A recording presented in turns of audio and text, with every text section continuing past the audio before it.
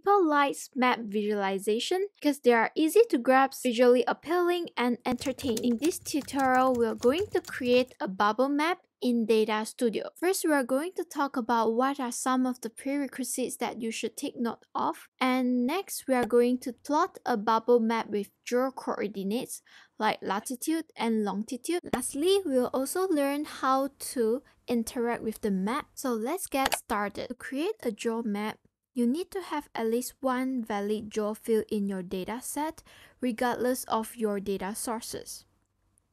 Good news for those who are using Google Analytics and Google Ads connector as data sources. Geo fields are automatically included and ready to use immediately. You can skip this part and move on to creating bubble map. If you are using BigQuery or Google Sheets as the data source, you will want to make sure that the selected geographic fields uses the compatible format and data types. In case you are unsure, this is the compatible format for geo coordinates to be recognized in Data Studio. Starts with a latitude and followed by a comma and lastly a longitude. Now let's configure the data source setting so that the field are recognized as a geo field in Data Studio. Go to Resource, Manage Edit Data Sources, and click Edit. And look for the location field and change the data type to geo.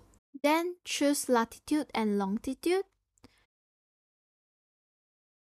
And then click Finished and close the window. Now we have the data settings right, let's proceed to add a bubble map in the reports. It's very simple to create bubble map in Data Studio. First, we need to insert a bubble map. Simply hit add a chart and select bubble maps under Google Maps category and then click on the blank canvas to add the chart. You can resize the chart to make it bigger. Second step is to add a geo field to the chart. At the property panel on the right, drag and drop the geo field into location field. Here, because I have only one geo field, so it's automatically detected and added into the chart. Then we can proceed to add additional info to the geo map. Here I'm adding a shop name into the tooltip. I will also add a field to color dimension just so the bubbles are colored based on the values.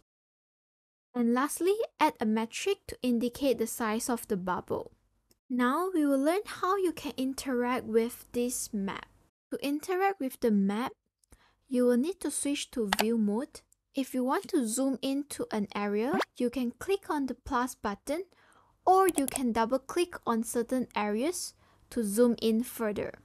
You can also move the map by simply dragging it up and down or left and right. This action is also known as panning. If you wish to know more about a certain location, simply hover on the bubble and you will get to see the extra information that you have added in. Given the convenience and ease of building bubble map in Data Studio, we can offer Google Maps-like experience in the reports. However, it does comes with some limitations. First of all, you can only include up to 1 million bubbles. Second, we are not allowed to drill up or drill down. Say for example, you want to allow your users to look at city view and drill up to maybe country view. So that's not available in Bubble Map. If you want to do that, definitely check out GeoCharts in Data Studio. Lastly, the information that we want to display in a tooltip is very limited in Google Map. So if you want to learn more about Geo Map and how it works in Data Studio, feel free to visit my blog because I have a more detailed write-up in there. I'll put the link in the comment below so that you can check it out. In the next tutorial, we'll talk about what is the workaround to add more info to Bubble Map tooltip and another video will be about how you can customize your Bubble Map. That's all for today. If you think this video is great, please give me a like and subscribe to my channel. If you would like to support my journey, please feel free to tip me at ko-fi.com. Link will be in the description below and I'll see you next time. Bye bye.